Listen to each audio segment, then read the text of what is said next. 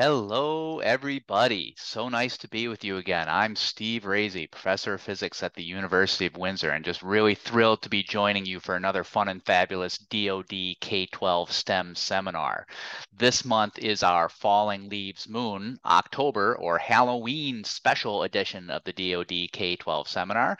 And because that is the time of the season, I've chosen a particularly spooky topic for you all. Hope you all enjoy it today. So let's go ahead and dive into that and see what we have in store for you today. So it is the Halloween season. So at this time of the year, we all like to go a little bit batty. So we are going to talk about the spooky bats that sometimes people think about around this time of the year. There they come it is time to get a little batty. So again, I'm Dr. Steve J. Rehse. I'm the head of the Department of Physics at the University of Windsor very pleased to be talking with you all today. Let's dive on into this topic. Um, as always, we like to start with our land acknowledgement statement. The University of Windsor does sit on the traditional territory of the Three Fires Confederacy of the First Nations, and this includes the Ojibwa, the Ottawa, and the Potawatomi. We respect the long-standing relationships with the First Nations people in this place, or the 100-mile Windsor-Essex Peninsula and the Straits or Le Detroit of Detroit. And as always, what I've been liking to do on these K-12 STEM seminars is try to include include uh, a little knowledge of the Ojibwa language when possible with the topic I'm talking about. So we're talking about going batty today. So uh, as always, I turn to one of my favorite resources, which is the Ojibwa People's Dictionary, which actually allows you to hear these words uh, spoken. So we're going to today learn the word for a bat in Ojibwa. So here's the word written out. And if you listen very carefully, maybe turn up your volume if you can't hear so well, we're going to hear the Ojibwa word for bat. And that's, we're going to hear it once or twice. And let's try to repeat after the speaker, see if we can learn this word. Here we go. Apakwanajin. Apakwanajin. Try that again. Apakwanajin. Apakwanajin. So a bat. Apakwanajin. So if nothing else, we've learned a new word today, which is awesome. Apakwanajin. Apakwanajin. Okay. So we now know the word for the bat. What do we know about bats? Um, maybe you've seen a bat, maybe you haven't. But if you've seen a bat, almost most certainly it's been at night. Bats fly around at night. You don't see them flying around during the day. Uh, their eyes, turns out, are really not so good. Uh, they don't them, right? So they fly around at night, they navigate, they hunt. Uh, they're very, very quiet. They sleep during the day. Their eyes are not very good for seeing in the day. So how is it that they get around then? If you guys go outside at night and it's pitch, pitch black and you're trying to walk around a forest with trees, how can you see where to go? You'd be running into trees and bushes all the time. You're not able to navigate in the dark, but bats have no problem. How on earth are they actually doing this? Well, I think physiology can actually give you some type of answer to that. So let's take a zoomed in look at some of these bats. So this would be the uh, little brown bat here. And here's something called Townsend's big-eared bat right here. Physiology is a study of the anatomy of an animal what do you note about these particular animals? Maybe something that I'm calling out with those big yellow arrows. Does that give you a clue maybe of how these animals navigate in the dark? Well, what you might have noticed from those pictures is it is their big ears. Bats tend to have tiny, tiny little eyes. You can see them there, but really large ears, large for the size of that animal. These big ears are going to help them actually hear their way around because they are using sound to navigate. Humans, when we're seeing with our eyes, we're using light to see our way around. Bats are using sound to navigate around. And because they use sound, this is a form of what we call sonar. Sonar is an acronym for sound, navigation, and ranging. So bats are really using sonar to navigate through their universe they're using sonar, but they don't just sit around and listen for noises. So that's called passive sonar. So you guys can do this. If you just close your eyes or sit in a very quietly in a very dark house and just listen for sounds, that's called passive sonar. You're just letting the sound come to you and you're using that to figure out where things are.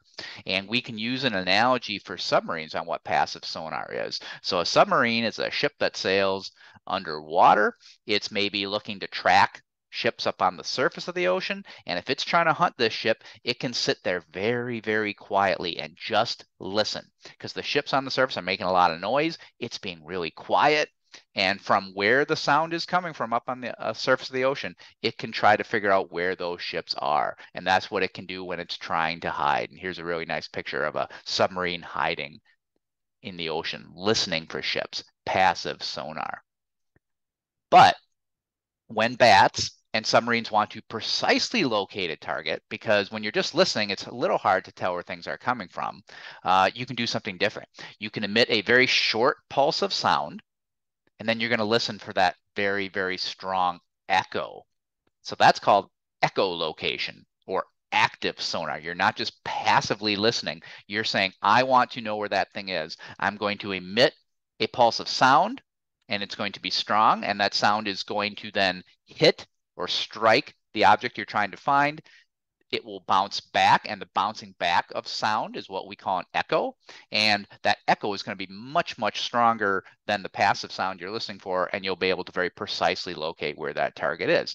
And when a submarine does this it emits a very short pulse of sound and we call that a ping and it has a very particular sound that you've probably heard in movies or in TV shows. Let's take a listen to that ping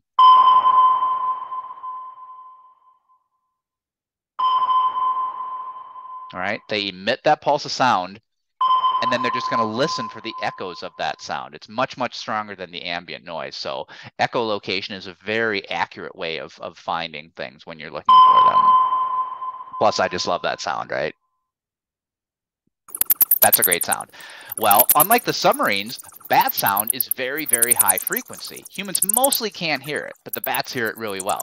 So here I'm showing a bat flying in super slow motion, and we're pretending we can see the sound waves that it's actually emitting, and you can see these sound waves are bouncing off cave walls, and that's how it's finding its way around. That chirping sound you're hearing is actually the sound of bats. This is probably the sound recorded in a bat cave. This would be a bunch of bats making this kind of squeaking sound. Let's take a look at that again and hear that again right? So although most of the time people say like bats are inaudible, meaning humans can't hear them, it's not quite true. They're, you know, you can kind of hear this chipping sound. The bats hear it much, much more clearly and more distinctly. To us, it's just this kind of very high frequency, high pitched sound, a little bit hard um, to, to kind of tease out. All right, but that's actually what bats do sound like. So this really high frequency or high pitch sound is something we call ultrasound. And the neat thing is, is in my last lesson, if you go back and look at the last YouTube video that I put up there, we learned that that root ultra, that word ultra is Latin for beyond. And in that lecture, we were talking about ultraviolet light. We were talking about the type of light that you can't see, but it's higher frequency and beyond what humans can see. There's another word that we call ultrasound. See, this is kind of as you're starting to learn how science works, you see that we use these roots so you understand what the terminology means. It's not always uh, inventing or trying to learn or decipher a new word. You're like, ultra, oh yeah, I learned that last time. I know what this means. So ultrasound is sound that is beyond human hearing. It's a higher pitch or higher frequency than humans are able to hear. Ultrasound. And so if you look at the numbers that kind of correlate with what humans hear, certainly humans hear over a very wide range of frequencies. You can hear things, the lower frequencies are things that are very low. People who sing in a bass are audible, low audible frequencies. And then people who sing very high are sopranos. Uh, it's a very high pitched sound.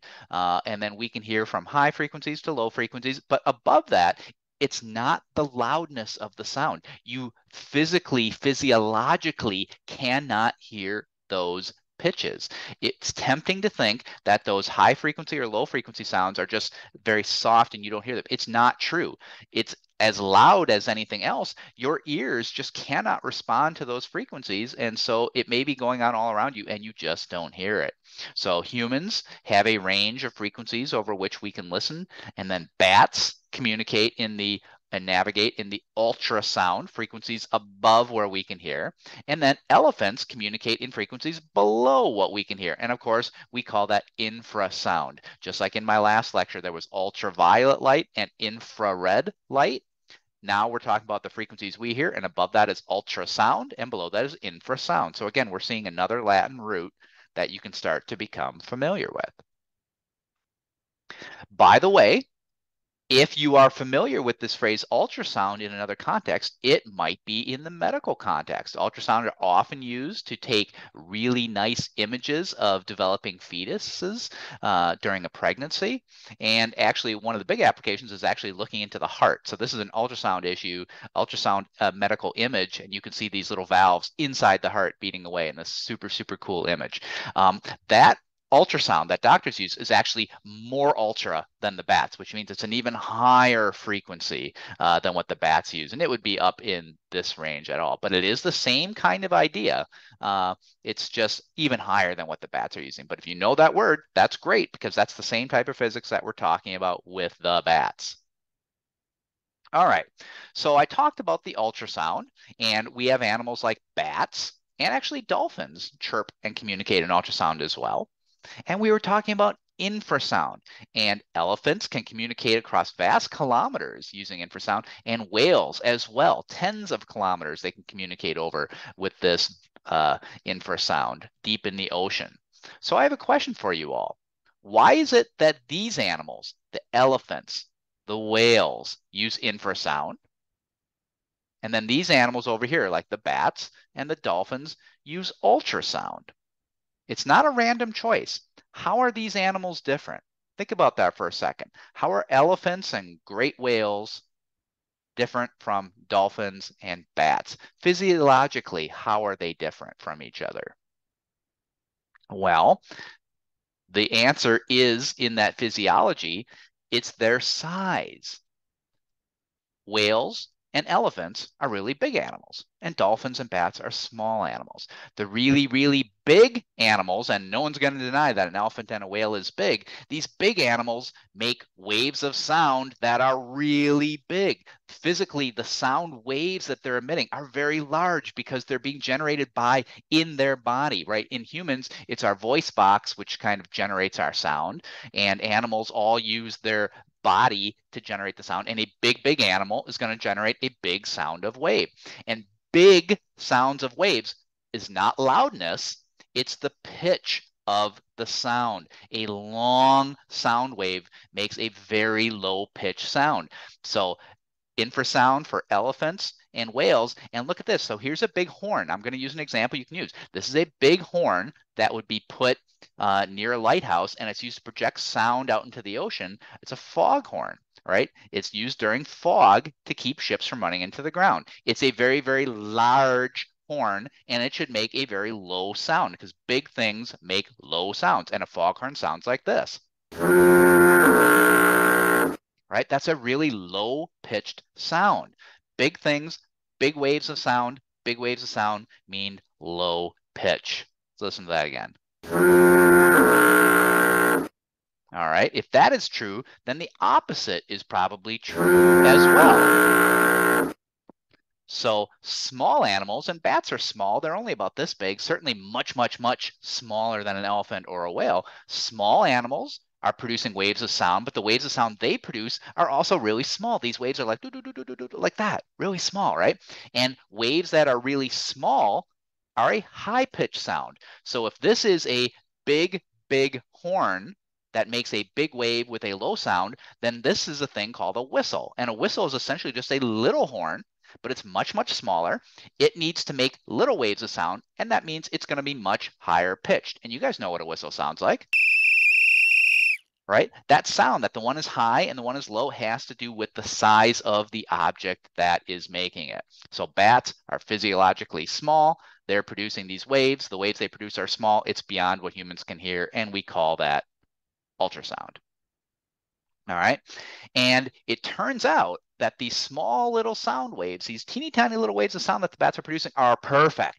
Why are they perfect? Because the bats are actually using them to find small little insects for food. So I'm going to show again another super slow-mo video. And in the previous video, so if the bats were just using sound to navigate and not hit the walls of a cave, infrasound would be fine, but the bats need to eat. And remember, the bats don't see so well, but they're using their echolocation to find things. So in this picture, here's the bat. He's going to be flying around and he's trying to eat these bugs, these moths and other little critters that are flying around inside his cave. All right. And because the bat is this big and the insects is even smaller than that. So he needs little teeny tiny little waves so he can find these little tiny insects. So it's absolutely perfect. The system that the bat is now using to actually echolocate these little insects. Let's take a look at that. You're going to hear it. Hear the chirps? Right, he's emitting these chirps and then he's listening, right? You have to chirp and listen chirp and listen. He's using echolocation. He's emitting these chirps and he can tell where the echoes are coming from, from the insects flying around him. And then he can fly and zero in on those insects and try to eat them because that's what he's eating.